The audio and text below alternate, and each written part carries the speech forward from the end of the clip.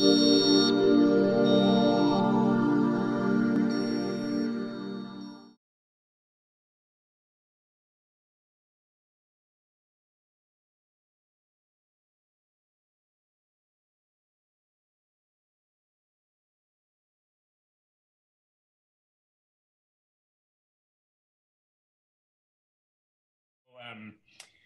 hi, Deb. How are you? Hey. Hi, Uli. so I just want to say a word about what why we're doing this series. And first of all, thank you, thank you so much for making time. I really appreciate, we really appreciate it. Mm-hmm. Uh, so for Skirball, um, we're uh, talking to scholars and artists, creative people, writers like yourself, who've shifted the paradigm of, of how a field thinks about something. So we've talked to a couple people, Kate Stimpson, who mm. founded the journal Signs. That's really the first feminist journal in the 70s. Carol Gilligan, who listened to girls to think about how humanity conceives of morality, to Richard Schechner to think about performance. And we're interested how a paradigm is actually shifted, how a way of thinking about the world is changed, um, and we're doing it at this time because we think a lot of people are realizing we're going into a country through major, major battles over how to view ourselves, how to view certain traditions and things. And I think especially younger people really want to understand how someone like you was able to work and really shift an entire field. So, um, first of all, thanks for for being here today. Yeah, it's it's a, a really great question as well. Um, how do we consider all of this in a time of 2020 with there's so many shifts going on in, in our lives? I think mine basically started out of love, you know, love of work, um, love of the field of photography, um, a curiosity about the missing links in the histories of photography. So my my interests and it started as a student. So I really think it's really important to note that students um, early on, um, when they began to study a field and find um, major gaps, that there are opportunity for them to to challenge and in a way that helps the field in a larger sense. And it started with undergraduate question of where are the black photographers in in the history books. And i was studying at the philadelphia college of art then it was now it's the university of the arts. And the the professor i had then ann tucker said you know she had the same question when she was working on a book called the woman's eye um, looking for women photographers. So i, I think that um, that's important to note that if you have the support of of a, of a professor, because I've had other professors who did not support, um, that helps. And um, I was, you know, looking for different stories um, outside of the images that we would see of Black people. At that time, it was always stoop labor. Um, it was always ragged clothes, dirty kitchens, mm-hmm. and they were circulating. And I only saw those in, in books. Mm. So I, you know, would challenge that there are other images of Black people. Why not show the broader evidence of Black existence in, in, a, in that sense? And you, you've, I mean, I looked at obviously picturing us African American identity in photography, which I think is about 25 years old now. Which yeah, that's 25 years. Rereading it, it feels like you published it today. It has exactly the same relevance.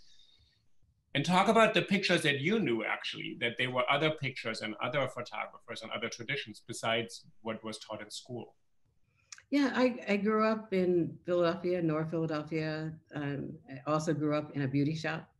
So my mom had um, magazines, photojournalist magazines, and I also grew up with a family that, that encouraged us to to well forced us to go to the library to get pick up a book every every Saturday after chores.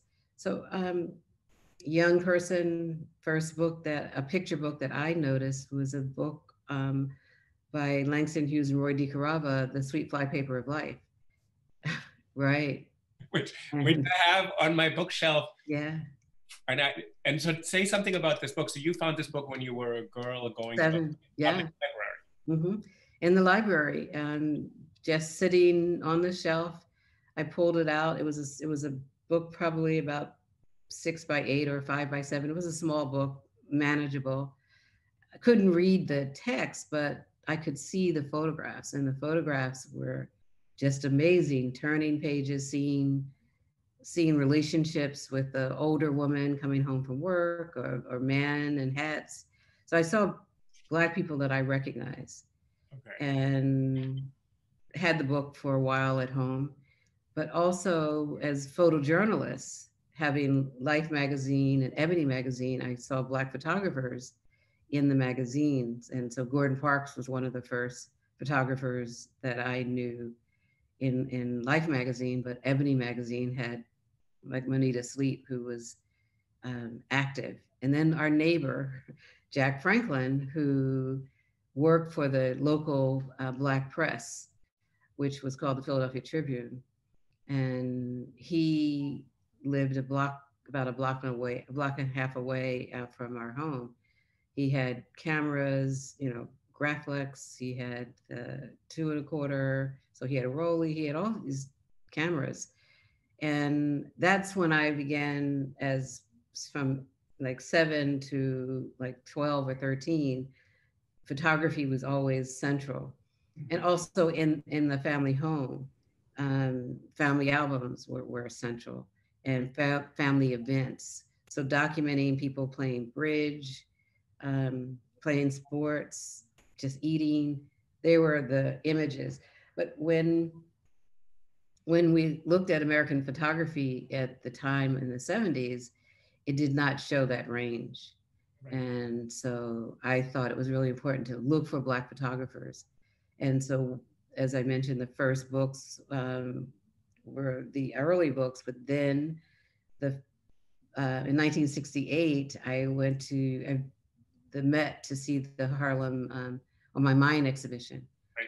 In 69, it opened in 68, I went in 69. And so one of the first photo books I purchased was the Harlem on My Mind catalog. I was, you know, I know that there were protests out there from artists who felt that social issues should not be in the museums and photography was not um, uh, it was more uh, not seen as high art. So at that time, but as a, a, budding photographer, I knew that this was a space that I wanted to be in. The enlarged photographs, sound, and all of those moments were significant for me as photographer to look at Harlem. And Harlem was a place we visited as kids, and and I and I loved the photography. And that's the first time I saw James Van Der Zee's photographs. Right. So that was significant. And then and then 70s rolled. And I'm in school, and then I, the Black Photographers Annual was the other uh, second book that I purchased. And can you say something about Harlem on My Mind, the show? So you referred to it several times in your writing. So mm-hmm. this showed an image of Harlem that also wasn't just social documentary. Mm-hmm. You actually you actually saw it in a, in a different way, right? Mm-hmm. I, I saw Harlem on my mind as a storytelling event about Harlem. Huh. Um, Harlem, um, you know, there were signs from artists who said, Whitey has Harlem on their mind. Um, we have, you know, art on our minds and different ways. And so there were really, you know, contested moments but I felt that as an exhibition, it yes, it dealt with uh, social issues. It also dealt with um, impressionism in terms of art. It it dealt with um, interior spaces mm-hmm. of joy. In um, the Harlem community. Um, there were individuals such as writers like Langston Hughes and Countee Cullen and big blowups of, of photographs of there. But then the photographer studio yeah. as as a place of, as Alan Trachtenberg says, um, a theater of desire. Hmm. You know, to see how people walked into a photographer studio and what the photographer studios offered um, a place for um, people who were immigrants, migrants, who moved to Harlem, and and and I felt that seeing that exhibition to me it had a lot of hope. Mm-hmm. Um, hearing um, the voices of of speakers like um, Marcus Garvey and singers um, from that time period where as you walk through the gallery. So there were, it was huge. You know, I think one of the the issues that the people had at the time were the the sea photography and blow as blow up images, yeah. you know, like because it was was it um, um, like super max screens at that time, so things were blown up. Now we're blowing them up again. Right. But, um, but so but so anyway i see i thought that was an, a, a way of combating um, images in a, in a totally different way of, um, of black people.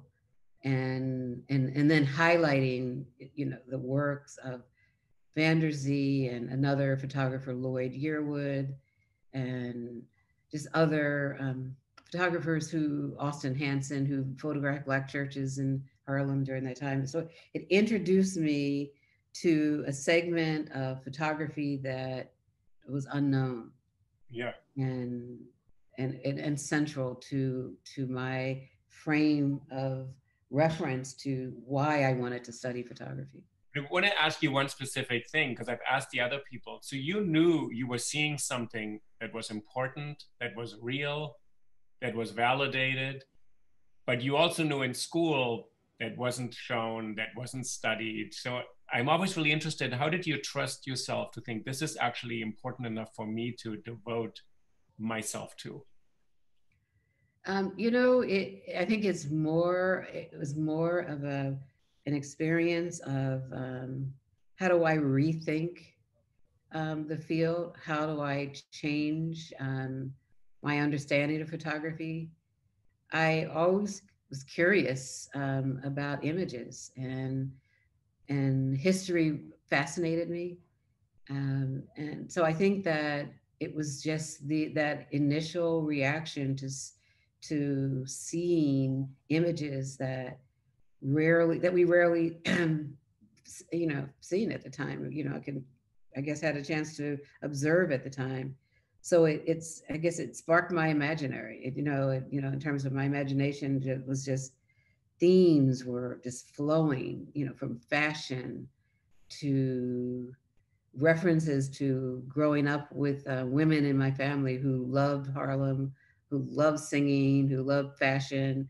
So I could just place myself in this complex yeah. history, and I felt like I was walking with them in, in this in that sense. There's a sentence in your book. Later, you did a book on James Van der Zee's amazing work, and I really I really love this book because you kind of shifted even the understanding of him and you have this sentence you say these pictures are heroic and self-aware. Mm-hmm. I really like this combination, that kind of the self-staging, but there's this an awareness that comes from the the subject, the sitting people who get, got into Van der Zee's photo uh, studio, and they knew he was going to transform them, but they were participating in that. Mm-hmm. And that's true because I think that um, why it's important and why I think storytelling is important is people. It's like saying I'm here and I'm and my life matters. Mm-hmm. Um, and having that visual evidence was was important um, for people in in Harlem for that exhibition, or uh, when people moved from North Carolina to Central Harlem, they sent photographs back to as evidence of even if they're borrowed clothes or clothes that they purchase, that they move forward. You know, it's like I go to Abyssinian um, Baptist Church, um, and seeing that photograph of the interior of, of Abyssinian Baptist Church with um, the funeral of, of Blanche Powell, and how Van der Zee in his Book of the Dead he reimagined people's lives. You know, he photographed them during their lifetime, and during death, he would just put a angel-like photograph somewhere in the image. But it, it also gave people who were unable to attend funerals because of long trips to see and be there. Yeah. And and that was that was a to me that was a, a life-changing event for um, for people to have photographs of of the dead.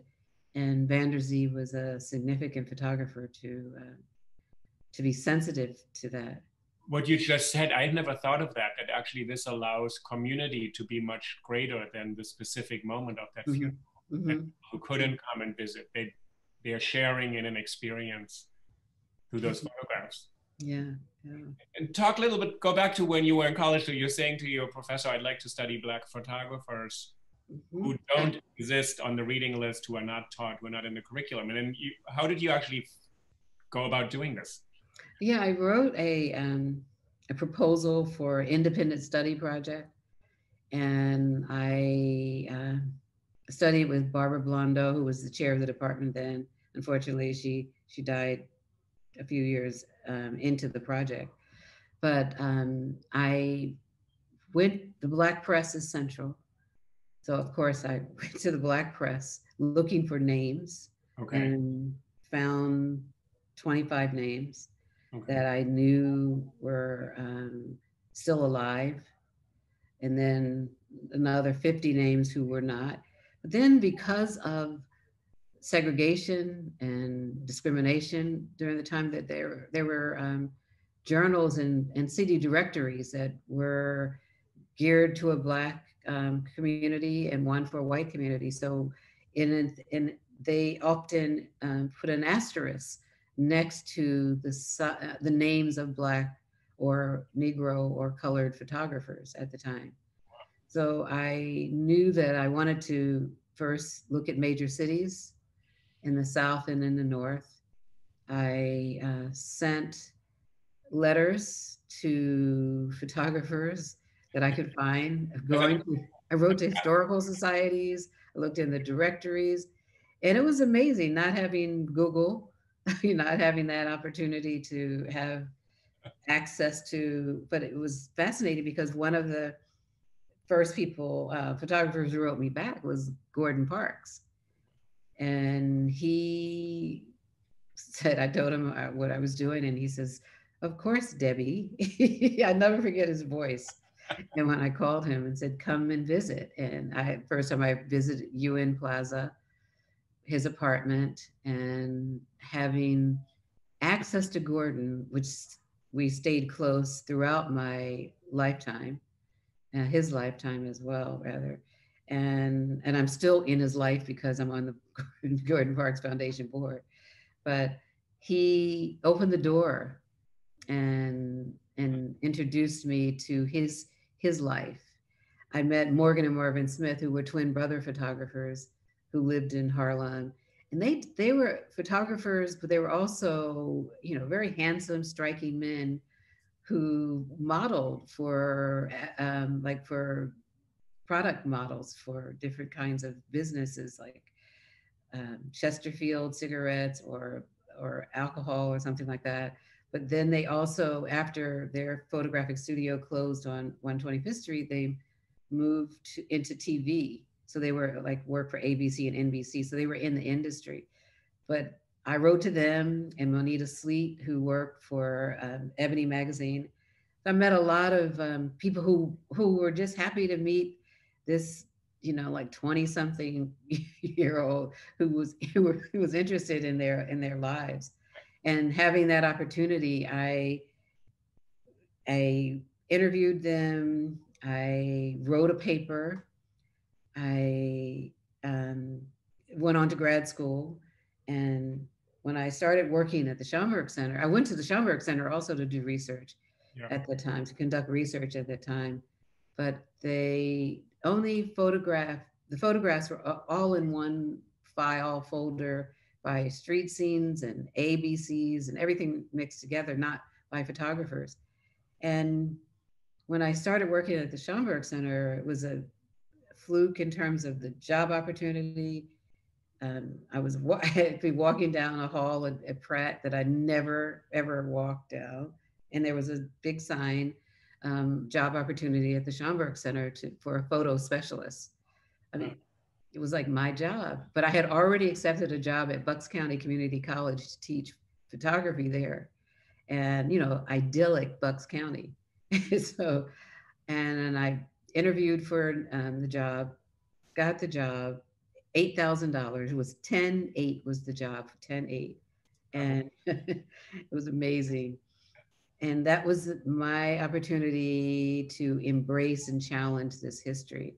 I entered into this field knowing how to research for photographs, but I had an opportunity to set the collection, to create a collection, to catalog the collection, and spend a lot of time looking at the Library of Congress um, information on how their card catalog. And the third month um, I was there, Richard Newman, I don't know if you know him. He unfortunately passed away. He was a fantastic mentor. He called me up and said he asked if I wanted to do a book on Black photographers. He said, How would you like to do a book of Black photographers? I said, Well, I have an undergraduate paper with undergraduate language. he said, Well, send it to me. And I sent it to him, and he says, You know, we have a book and let's do it as a biobibliography. So it's a resource. And and then that was it. I found i just a lot of the photographs were at schomburg. You know the photographs from people in south carolina like arthur macbeth who photographed in charleston and, and had a studio also in baltimore. And so all over. And so creating that biobibliography i found photographers in haiti and different places like that Wow. So your the book is really just you thought I'm giving this resource to the world. Mm-hmm. To go back to your first point, you must have loved what you were doing. You must have discovered so many things. That oh, I loved it. Right? I, I, you know, I had Hank, my son was a kid, and I would have him. I would pick him up after school and take him back to Schomburg. Okay. to work with me, to be in the archives with me, because I, I mean, I, I was Debbie Schomburg. I love being at Schomburg.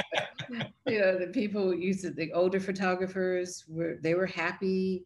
You know, there, there were photographers like Garland Anderson who worked for uh, the Apollo Theater, and he had a, a lot of uh, photographs of the stage events. And they were looking for someone to take their archives. Right. You know?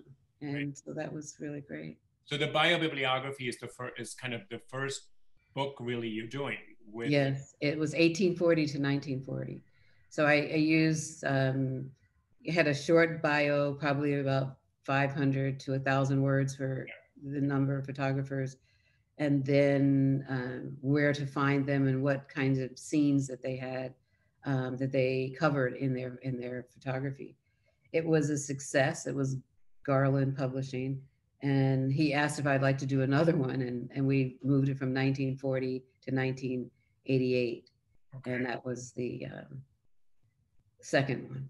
And did you get a did you have a sense when it was a success that people started responding so you felt less like you were Yeah, I I had no idea. I had never given a public lecture before. And Newark uh, Museum was the first place who invited me um, to to do a talk and um, to talk about um, photography.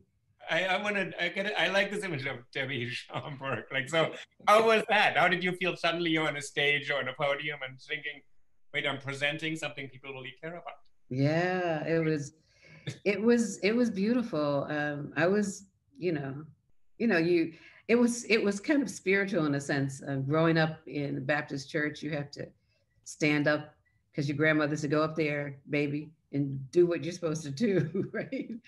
And um, but you know, like you have to, that experience, you know, pushing you forward. And each time I, you know, the first time I gave a lecture, um, I did not know that um,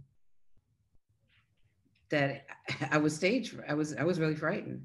Oh, really? And and I and I was told by Andy Grundberg said this to me. He says, "So, if you don't have stage fright, then there's a problem." okay. You know, because it means you know it all, and you can't receive. So, yeah, yeah. you know, accept that. Okay. And that was really helpful, um, having that that kind of critique of myself to think about uh, what it means to stand up for quote the race, for my gender, you know, to speak in Newark and to see people just happy to hear what I had to offer. And I talked about the um, Harmon Foundation um, photographs uh, during that time.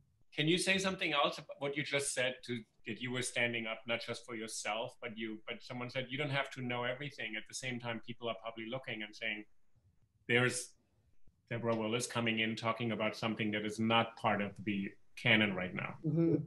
Yeah, the uh, the opportunity for that talk, um, it helped me in terms of not only thinking as as a black woman, talking about black photographers, but also it gave me an opportunity to place black photographers in the canon, in the history.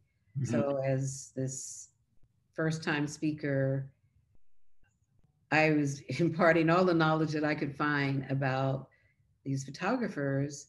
And then having that opportunity, it opened up a place for them, for these like James Latimer Allen, who, you know, soft focus, beautiful images, um, just looking at the beauty of Harlem. And beauty was never discussed when talking and speaking about Black people um, in terms of looking at the images. So that was um, that was central in in that in that way. I have I want to say something. Um, there was a um,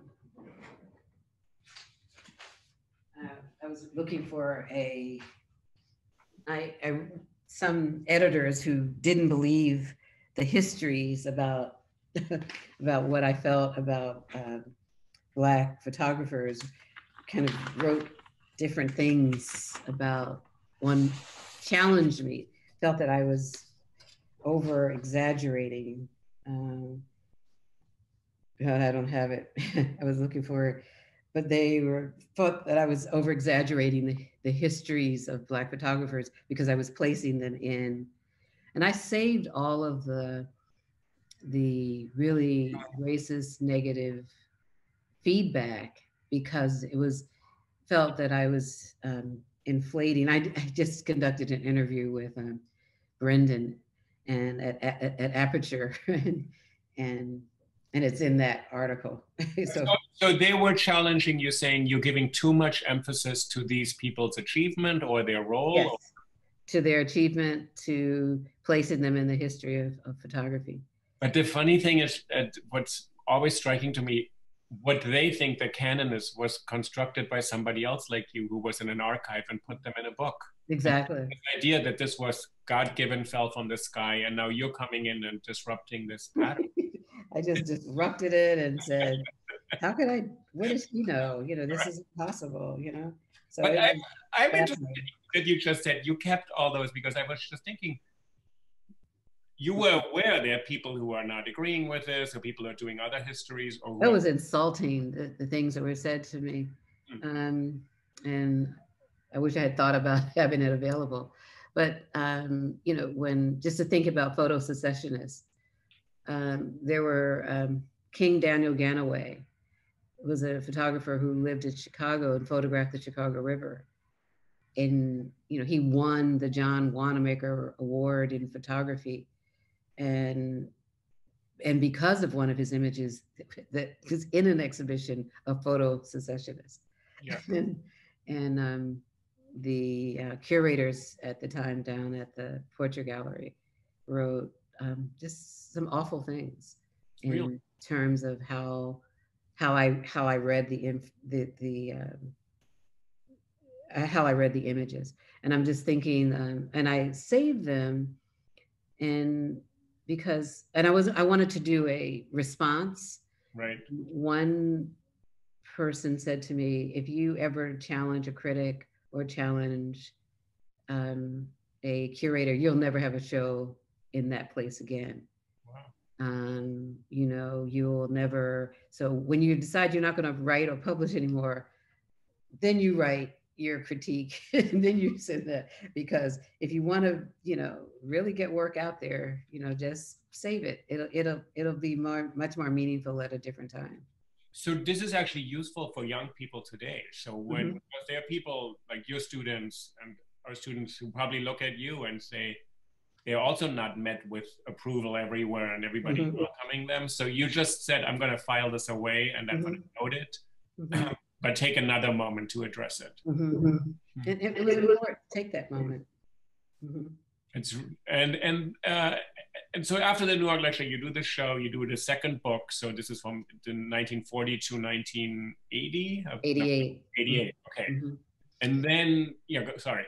I um I was invited by different people um, to write about photography um, in different collections. I was invited to, it was like the 150th anniversary of photography um, in 88, 89.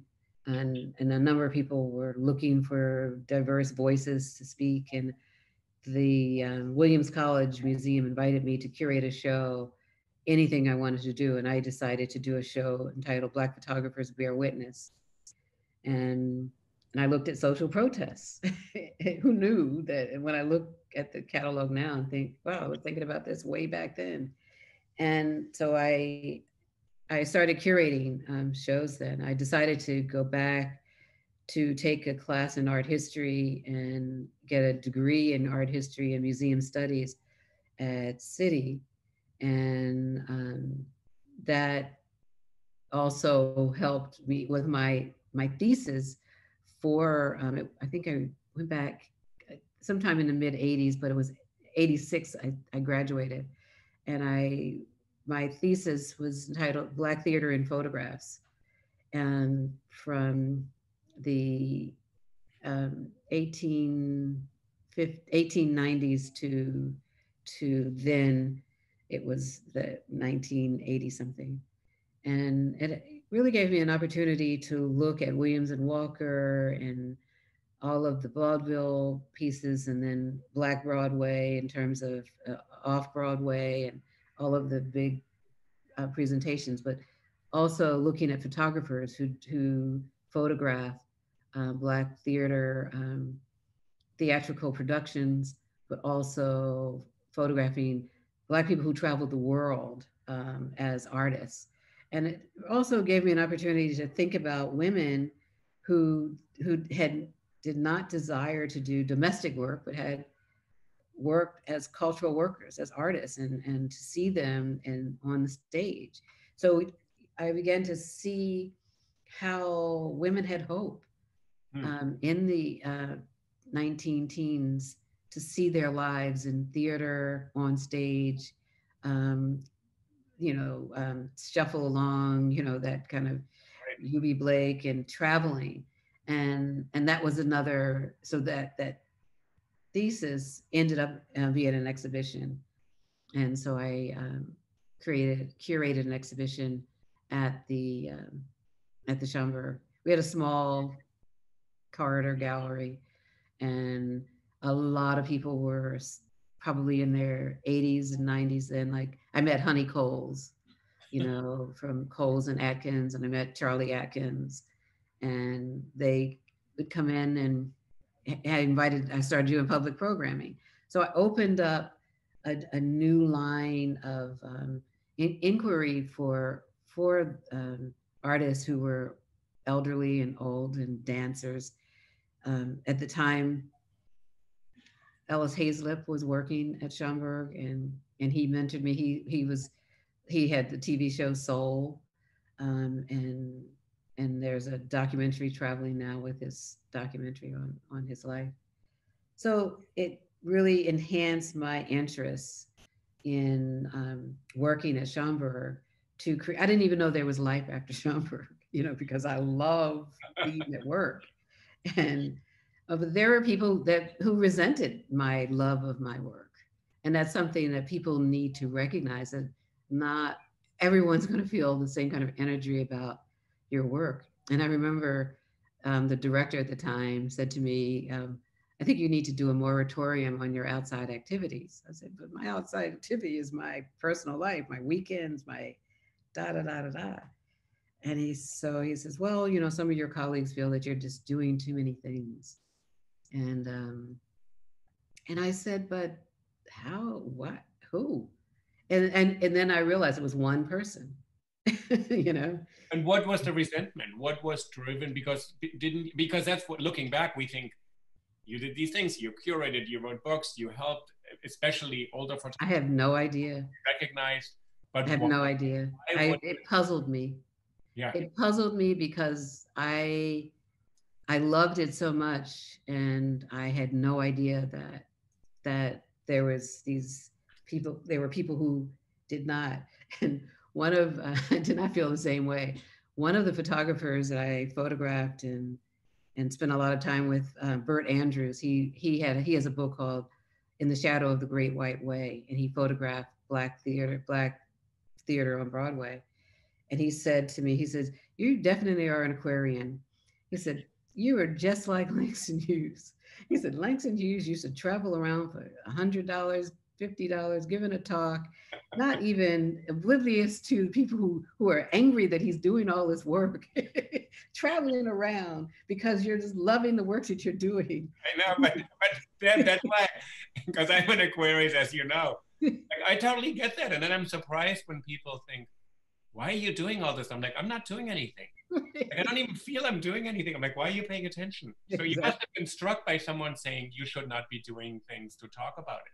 That yeah, must have been really an odd experience. It, was. It wasn't. But when he he when he um, connected me with Langston Hughes, who was my idol, yeah, right. I was like, I was in the right right train, right train to thinking. Then that was great.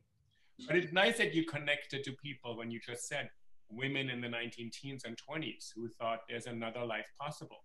Mm-hmm. In the photographs you found, in this documentation of Black theater, etc., there's another life possible that has already been lived.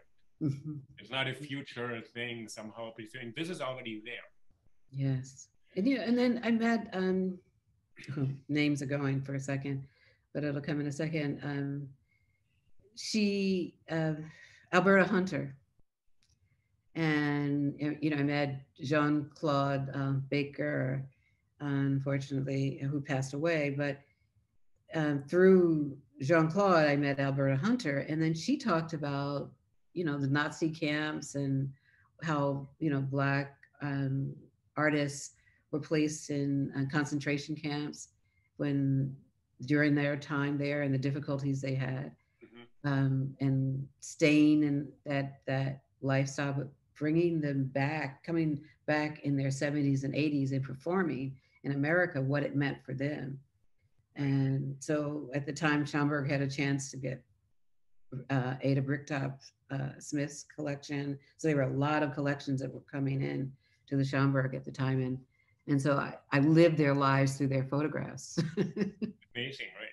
Mm-hmm. And then did your life get sort of because you started to do much more public work, the books were coming out. So how did you ultimately grow out of the Schomburg?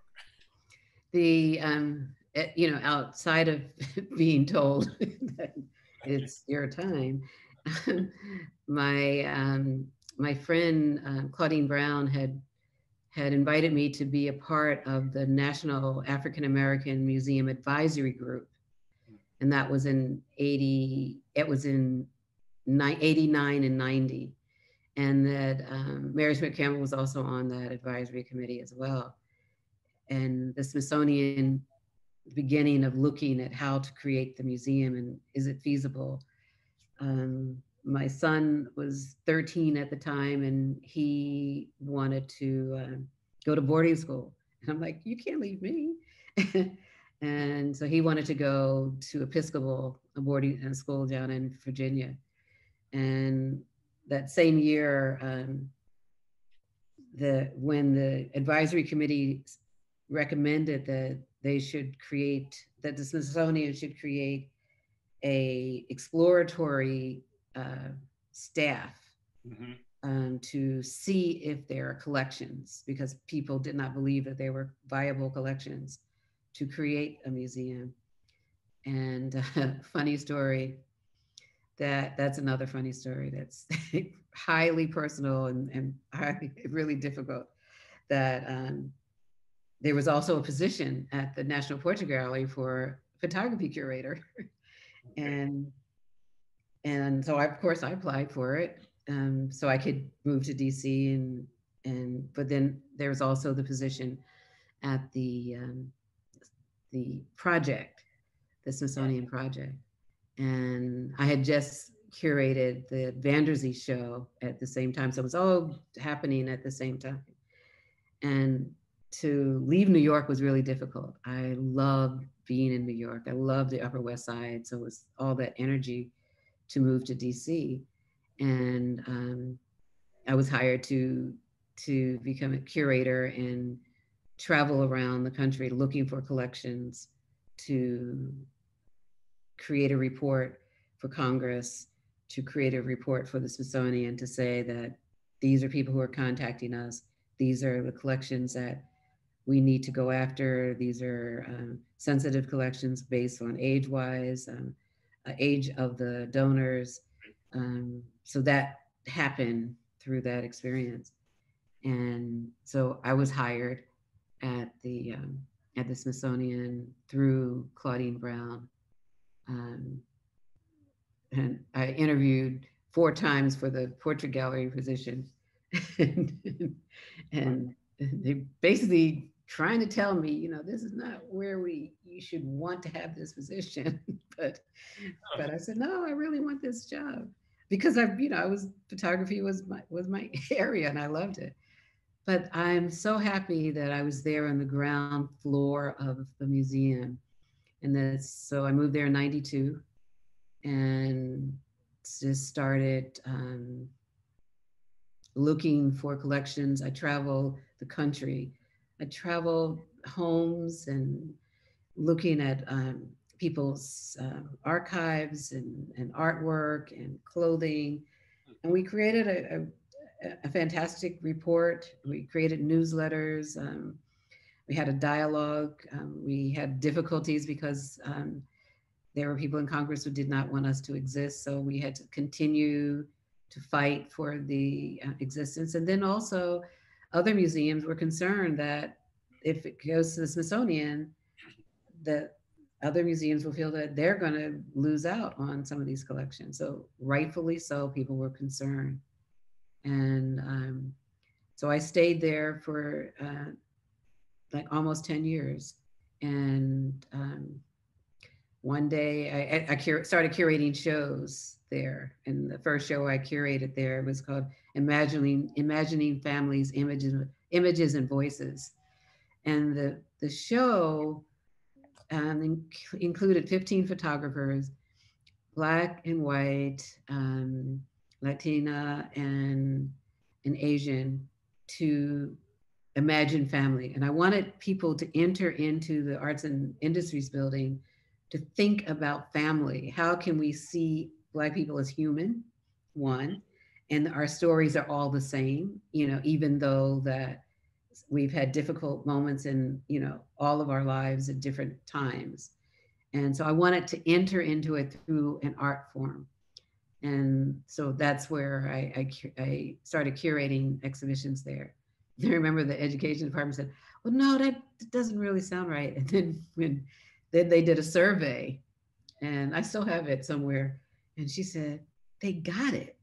They really got it." I'll never forget her voice. I said, "They couldn't understand that we could have an integrated show at the Smithsonian as an African American initiative to think about how do we talk about culture um, through the arts? So, what did they get? You think? What does what what what, what switch turned or whatever it's called flipped? But just to hear her say, "They got it." Yeah, you I still hear.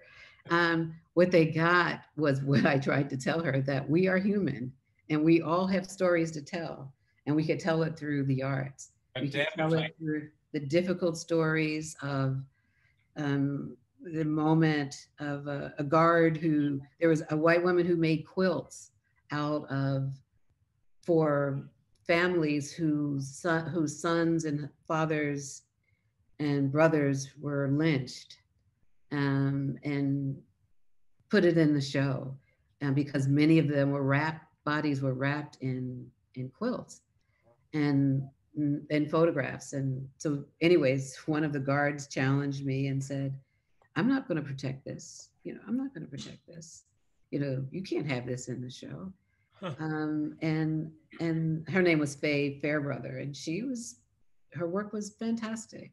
And we, you know, we had um, uh, another um, photographer artist who created a piece called um, "The American as the Belt as the Melting Pot," and she created boiled in the melting pot as Asian Americans, you know, in San Francisco, what it felt like in terms of being othered.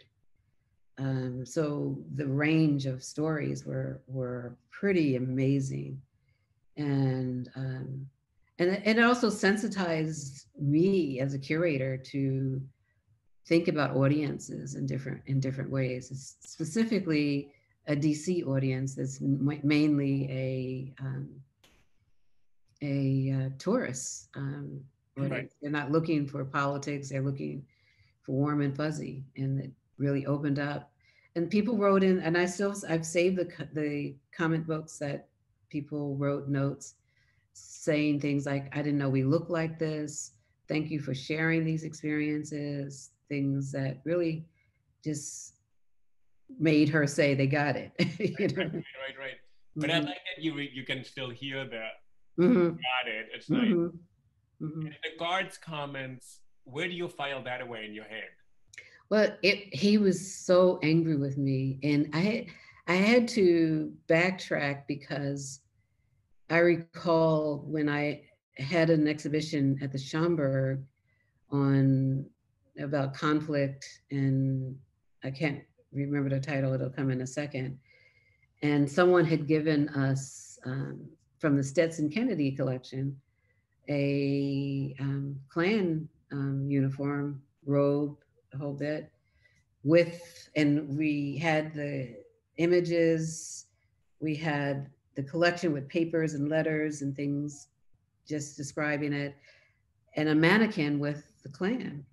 And there was a, a window at the Schomburg that faced uh, Lenox Avenue and at night, it was only one light in the reading room that people could see, this narrow light.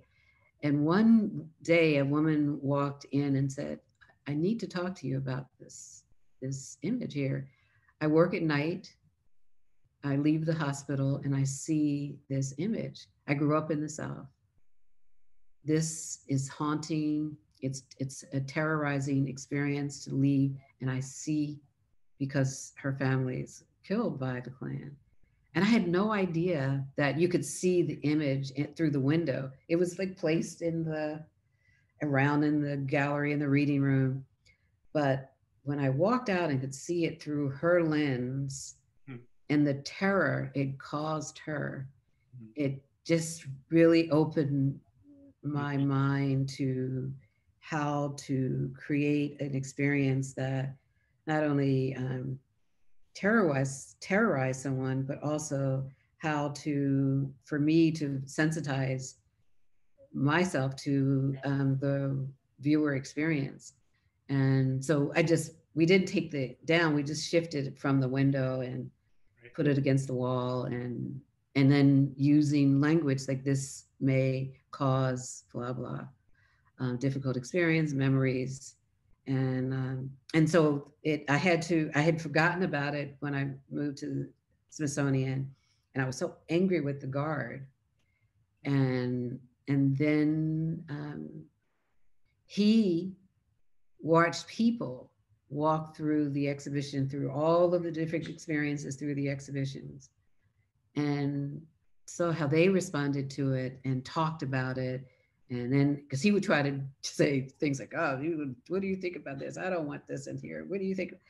And then they would talk about why it was important for them to see it, and because they remembered um, their own experiences with the quilts and things like that. So, you know, just in terms of a terms of a two-way street for me, in terms of having a talk back right. moment. Right. Wow.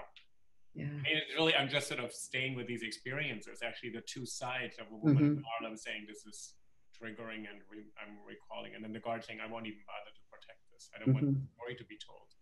Where do you think in the country right now, where we're sort of debating really what stories deserve to be told and remembered, when you look back at these this time, which to me sounds like five minutes, but it's yesterday, right? right? sort of all of it is. Yeah. Sort of, um, where's your energy right now in terms of what you're doing right now to because we are it seems to be we're in similar debates again mm-hmm. or still or?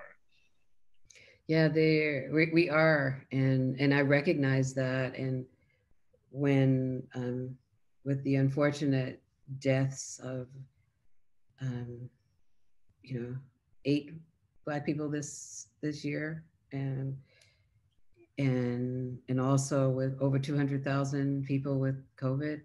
Just and you know, of course, we we lost friends and family members. I'm always thinking about how do we think about humanity at this time? How can we sensitize people to experiences that that are at hand that we need to make a change. We need to make change. Um, I wanted to make photographs, but I didn't leave the house during um, the lockdown. But I made photographs of joy, people coming out to clap and bang, and you know. So I made photographs of those moments. And then, un- unfortunately, after when George Floyd um, was killed and and Breonna Taylor, um, to see um, the young people who, again, we had the same kind of marches in the '60s to to now um, to see their experiences i thought it was just important to kind of reflect and write about how i felt about seeing it and how do we um, tell their stories and encourage um, the work. And i just think that if it's a way that we could show um, like Pamela Newkirk and I are teaching a class called Black Lives Matter and we have students who never had black teachers before. And they wrote and they say thank you for teaching us this. Thank you for sharing. I've never had papers and we talk about it often that students first thing they say it's thank you. You know this yeah. was a great opportunity for me. Um, and and because then they had a chance to reflect on what they were experiencing at the time but also to think about what they missed in their educational process and so all of that's happening at the same time with me as a teacher and then with my photography, uh, just the same. I writing and making images about the experiences of, of the now. Yeah. Do you think this generation is more aware? Like in some ways, it's hard for you probably to assess your own impact in a way, but I think what you've really shifted is there's much more awareness of the the, the deep range of humanity and of African American life in America. That it's no longer a kind of one track depiction mm-hmm. of like let's say the social documentary lens has been shifted. Mm-hmm. And that has really been your interest from the beginning, right? To sort of say, let's like like look at the complex, the fullness of life. Mm-hmm.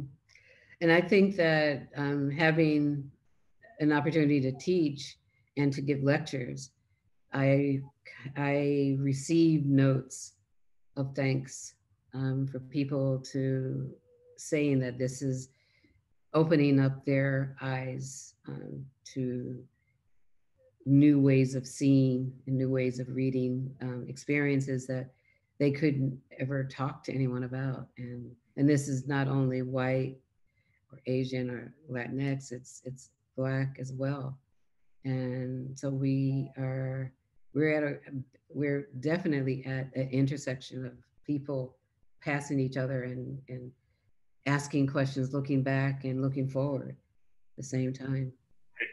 Right right. Is there one photographer and all the people you've curated talked about written about that is really a standout for you that someone you'd like to go back to someone you really love? I mean maybe it's not fair. Maybe you don't want to identify one among the many, many people you know, I think Carrie Mae Weems. Yeah. She is someone that I could go back to. Someone asked me if you were going on a desert island, what book would you take? Okay. Um, photo book would you take? Um, and I said, you know, I'd take Carrie Mae Weems' book mm-hmm. because of her interest in not only performing history, but interrogating history and making images. So I would I would say Carrie as as a contemporary, and the historical aspect of it is still Van der Zee. I could still look at his images. Right. and um, and and then the, in terms of walking through the shoes, I had um, I was at the American Academy in Rome last year in 2019, and I my project was to walk in Gordon Parks' footsteps in Rome in 1949. Okay. And I wanted to find every place that he photographed. And I wanted to experience Gordon in Rome. And, and I did. And it, it was difficult because he didn't have street scenes, street signs. so I kind of walked through and found, and I met photographers and it would show them a photograph that Gordon did in 1949 and they said, oh, that's at such and such. And oh, wow. Nice. Via Margutta, and you go here. And so nice. I, I did that. And so that was, that's someone between Gordon and Carrie, I think they're the two that I would take with me just to yeah. read about. Mm-hmm. Great. Deb, I want to say um, thank you. And what I really take from your work is that the love and joy you have doing your work, which some way also, and I know you as a colleague and sort of um, at NYU, the, the energy you bring to it, it's just um, really inspiring. So it's really great. It's really nice to see that you can take that from the work. Um, and uh, so on behalf of Jay also and NYU Skirball, we just want to thank you for being part of this today. Okay, great. Thank and, you.